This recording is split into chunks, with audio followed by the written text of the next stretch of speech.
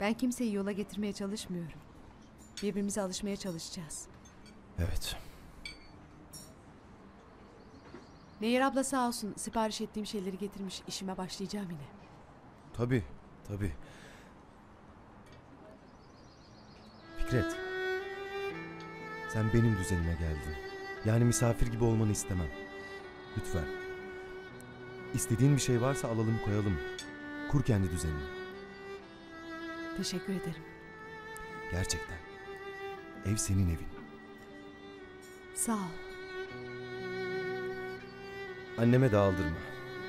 Çok genç yaşta yalnız kaldı. Bir tek bana geçiyor nazı ne yapsın? Şimdi de Biliyorum biliyorum. Sorun değil. Biz hallediyoruz merak etme.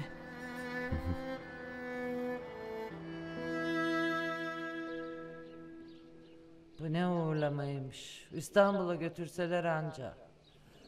O suratsızı da otobüse koyup temelli yollasa ne sevinirim ya. Kimi? Kilimciyi. Kendi kendine konuşuyorsun babaanne. Sus gelsin şimdi terliği kafana.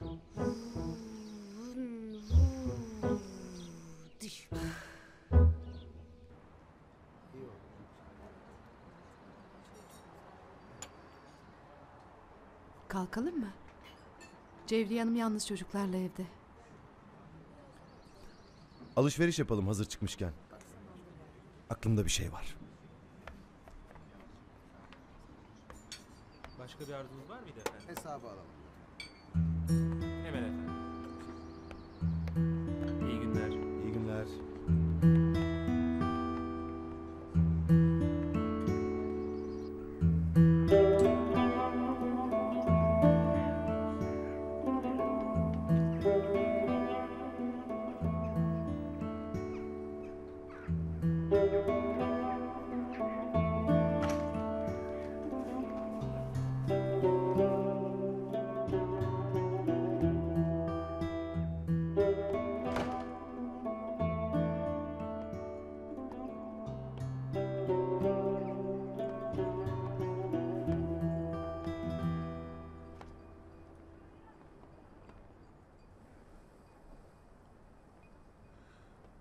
Dün gece Necla gelmiş.